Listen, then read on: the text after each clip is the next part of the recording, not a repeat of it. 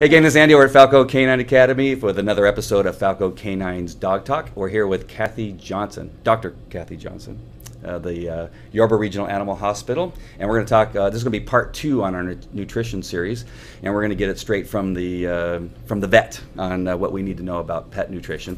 And um, uh, I don't know really where to start. I mean, we've we just got through talking that we both kind of. Um, have this battle against uh, obese dogs. Yes. Funny enough, I didn't tell you this, but uh, Spike TV called me and asked me to do an interview to be a host for a show called it's similar to The Biggest Loser. Oh. Because apparently it is a big problem across the United States. It is. Uh, somehow I failed. I, I, maybe I didn't have a shaved head and enough tattoos. I'm not sure why I didn't get the part. Uh, but um, it is an issue uh, that you know we have a lot of obese dogs and a lot of dogs that have nutritional issues. Um, are there some common uh, ailments that you see in the hospital that dogs come to you, and if it ju- if they would just change the nutrition, that that would probably help these ailments or change some things? Well, certainly, um, obesity being one of them, Mm-hmm. um, because there's huge problems with obesity. There's not just the uh, the physical part where you get musculoskeletal problems Mm-hmm. carrying all that much weight around, but you get pancreatitis. Uh, is really common with high fat diets. What what happens with pancreatitis? What's Pancreatitis is when the pancreas um, gets inflamed, which, if people, when people have it, it's very, very painful. They start vomiting, they can have diarrhea, and they quit eating. And they're just lying around, they're very painful. Uh, because the pancreas not only secretes insulin, but it also secretes digestive enzymes. okay? If it's not secreting them, it's not getting digested, vomiting, uh, inflammatory process goes on there. So that's pancreatitis is something we see fairly commonly. Um, mostly what we see uh, a lot of is diarrhea and vomiting from dietary indiscretions. Nutrition, if they would just feed a good quality diet, the same every day, same amount, and, and don't be feeding the, the steak, the salmon that they had. Oh, you know, he really needs to have a little dessert, little ice cream after dinner. Those are the things that cause the vomiting and the diarrhea, which is probably 40% of what I see um, on a daily basis. Let's, let's talk to the people that um, you know. They say, well, you know, dogs when they are strays, they eat out of trash cans and all this. 'cause They tend to be the healthiest dogs and all that kind of stuff.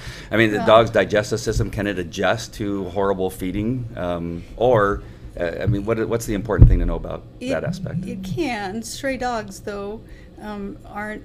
They still have the diarrhea and Yeah. vomiting. People just don't see it. Yeah. Um, so they they can eat all those things, and if necessary, they will.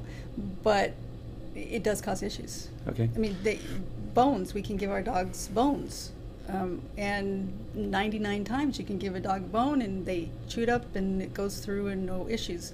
But there's that one time when it's the perfect storm in the gut and it causes little abrasions along. All right, let's talk about that when we talk about the Okay. raw diet. Sorry. That'd be good. No, that's okay. I just didn't want to get too ahead of ourselves.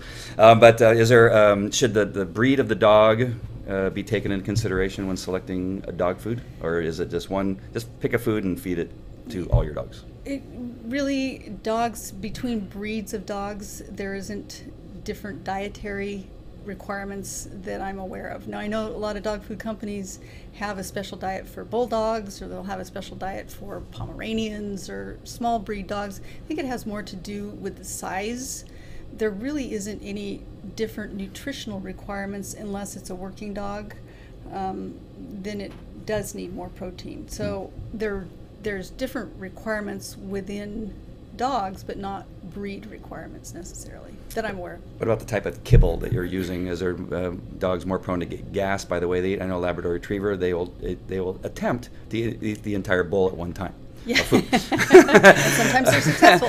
yeah, and there's other dogs who kind of nitpick and take it, you know, a little piece here and there, that kind of stuff. Is kibble important? Do you have any information on that? Kibble is just canned food without the water. That's just it's just condensed down. Yeah.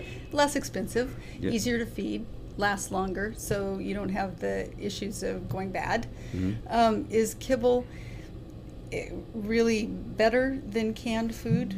No, it's got the same nutrition Mhm. in it. So it, they what happens though is it takes a while for those little kibble bits to expand in the Mm. stomach. So you give a dog a cup of food and it hasn't expanded, their stomach isn't full. And so they're looking at you like, did, did I do something? Do you not love me? um, I'm starving here. Well, a half hour later or an hour later, it's going to expand in the stomach and they're going to be satisfied. Yeah. So, you know, kibble, it's the same. I, I, either way. It's funny you should say that. I- We had a yellow lab um, named Montana who got into a 40 pound bag of dog food. And I think fit about 35 pounds of that food in her gut. And she looked like an episode of uh, Willy Wonka. Just, it, her stomach was touching the ground, but her paws were up off the ground. and it wasn't that funny because it caused we had to have the dog, you know, taken to the vet and surgery and you know, tearing of the uh, Just abdomen. had to do that two weeks ago with my own dog. oh, really? Yeah. Hmm, we won't talk about that. No. All right. So about the let's talk about the age and the size of the dog. You know, is uh, you know you got your puppy stage, you got your regular whatever stage, and then you got your elderly stage. Uh, Should the Mm-hmm. Food change? Absolutely. Okay, yes. Um, puppies require they have different nutritional requirements Mm-hmm. because their bones, their body is developing. They need the building blocks to build that body. Now, if you're an after you're grown an adult, unless you're a working dog where you're really using that much energy, the energy requirements go down. Um, they should, Mhm. as well as the fat. Yep. Elderly dogs, they again have different requirements because they can have ailments, kidney failure. You can slow that down significantly with different diets, liver diets. There's different things that you can do as they get older and start to break down that you can help solve with, or at least extend with diet. Okay. So I guess the most important thing is that if you're an attentive um, owner of a dog, is that you're really paying attention to what your dog looks like. And when you begin to lose sight of the, or, or at least can't feel the ribs any longer, it's probably a time to you know consider we need to change the diet and look at how much calories this dog and how much exercise the dog is giving. Yeah, getting. really, really, you should. we have a, excuse me, we have a um, program where we can measure the, s- the size of the bones, the length of the bones at different places in the body. we put it in, and you can have. Uh, it gives the ideal weight for what the dog should be. And when the dog is grown and formed, you really should do that. You should find out what the ideal weight is, um, because most people won't believe what it should be. Right. Because I have a lot of people that will say, "Well, I can feel the ribs," and and you can if you push hard enough. Um, you can Yeah. you can Yeah. find the ribs. if I use my small little fingertips. I can feel them. Yeah, I know I can. there's something in there. But you should be able to when you lightly Easily run your feel them. hands. Yeah. Right. And there are some breeds that you actually um, can see the ribs. Yes. And the people will look at a Malinois sometimes and go, "You're starving that dog," and you know Right. what? You're so cruel to that dog. Uh, No, that's the Malinois. That's the yeah, way it's, it's supposed like to look. a, a Vizsla or uh, you know any of those dogs that that's the way it's supposed to look. yeah. Yeah. Okay. We'll talk uh, some more about that a little bit later when we talk about what vets like. Not you. Yeah. But vets. All right. Uh, uh, the AAFCO, I just did a video on uh, part one of our nutrition episodes, uh, and we talked about the AAFCO label and how that's kind of, it's a guide uh, that you don't necessarily, you know, go by whatever it says. You feed four cups to a dog that's 50 pounds. Oh, no. Um, is that something you would agree with or Oh, absolutely. Um, that's a it's a guide. It's Yeah. meant to be suggestion. um, it's that's not. But it's not, that's not what they're told. I know people, well, the AAFCO, the label on the bag says feed them five cups of food. you know it, it varies as as with people Mm-hmm. you know i can eat a lot more than my sister Yeah. same size You talking about your sister? yeah Okay. you don't need to watch the sister. Okay, good. So it's okay. She knows i talk about her. Okay, good. um, no, it, it varies from dog to dog and you really need to tailor it to that particular dog. Breed aside um, the weight of the dog aside you need to tailor it to that particular dog. What does that dog look like and need? Because you can say a german shepherd needs you know three cups a day there's such a variation with Mhm. german shepherds you can't say that. You have to look at what that dog is consuming and what that dog needs. All right, excellent. And uh, what about um, supplements? Uh, you know, you, you give the dog a, a pill or here, uh, there for um, glucosamine or for vitamin B or amino acids, that kind of stuff. Is it necessarily pay the extra money for supplements, uh, or is it better just to get a good quality dog food? get a good quality dog food Okay, next. No. yeah, it's it, it depends. Now, if you have joint issues and you want to give glucosamine and Yep. chondroitin, that's that's not going to imbalance anything in the diet. But w- when you start with a complete and balanced diet, the dog food companies and the companies that make you know home cooked meals for Mhm. them for sale, they go to a lot of trouble to complete and balance that diet. So everything is in there that that dog needs. Then when you throw other things in there, it imbalances some of the Mm. nutritional requirements. And so just feed that. All right, very good. Now let's now we're going to talk about that raw diet that we talked about before, Okay. uh, or the BARF diet is what it's called, the Yep. acronym for the raw diet. Eh, how safe is that? I know that the, the the most common thing is the issue of the raw chicken bones that can be found in a BARF diet sometimes. How safe is it just as a diet itself, and then talk about the the Well, bone issue? The, the, the barf diet in itself is a great idea. And in the wild, yes, they do eat raw, and it's probably better for them. But all of our raw diets go through our slaughterhouses. And our slaughterhouses are hugely contaminated with Campylobacter and Salmonella. It doesn't bother us because we cook our meat. But all slaughterhouses, and it's well known. I mean, mm. the, the USDA they'll publish it, they know it, but they can't, you really can't do anything about it. So all the raw diets go through there. That's where they come from. So you've already got the issue of being contaminated Hmm. with salmonella, campylobacter, possibly other things. And then when you throw the chicken bones in, eh, can you give a dog chicken bones? Yes, a lot of times you can. The one time you have a problem, you really have a problem. So you might get by with it for five years.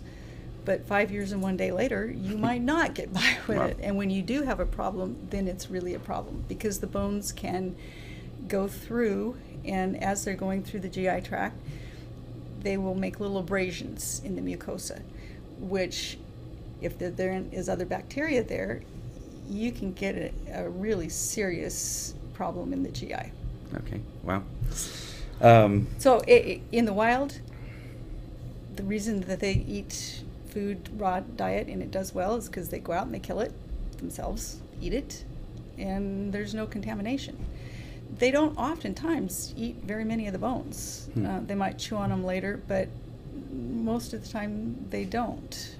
I'll chew on 'em op- to open up to get to the, the yeah, marrow and and, the and it's soft. The bones are, are pretty soft when it's a fresh kill. all right. So. So here's uh, uh, the tough question, and that's my question about uh, what your your thoughts on uh, my belief that veterinarians often like heavier and fatter dogs. Is this just a figment of my imagination, or is it because often I'll get these people and say, "Well, my vet says he's perfect," and I look at the dog and it's a sausage, and it's not supposed to be a sausage; it's supposed to be a German Shepherd. No, it's uh, there's two problems with that. One, um, there's just as in a lot of physicians uh, are obese, a lot of veterinarians are obese, and it's hard for someone that's obese to say your dog is obese. you know, control it. It's also hard for me. It's not a practice builder because it really makes a lot of people angry. It, they take it as a personal attack. Hmm. Just like if I said, you know, you're fat. You're not fat. you're, you're perfect.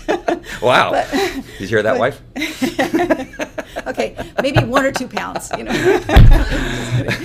No, it's um, they take it as a personal affront, Mm. and so it's difficult for us to go in and and try and form a team and a rapport with this client by going in and saying your dog is obese because they take it personally. Hmm.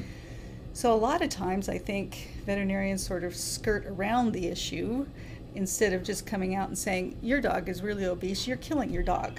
Hmm. You know, that's not a practice builder, to be honest. Yeah.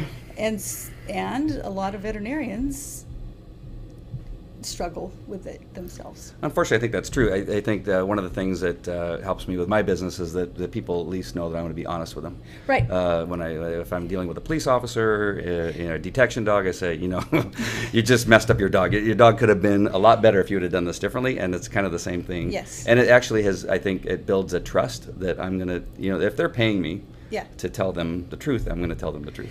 And and the my clients, my regular clients, know that Your two clients that you. yeah. No, just Oh, I have two now. oh, let get the second one. no. If you've seen this hospital, you know that that's not true. There's a, a, a lot going on around here. There's lots of customers. Yeah.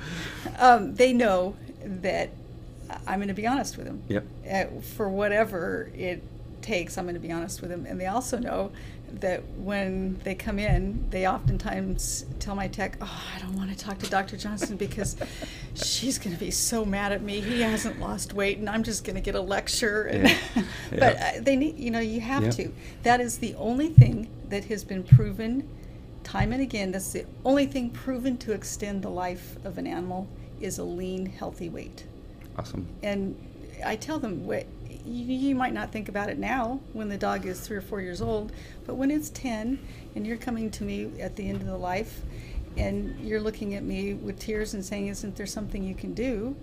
Mm. Yeah, there was. Right. Um, so it, it is important.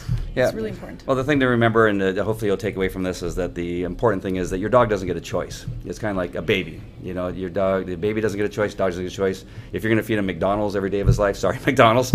um, there's a movie uh, about this that you're just not going to thrive. And so you got to be really considerate that this is the thing you're selecting for your dog. Take the time to find a really good diet.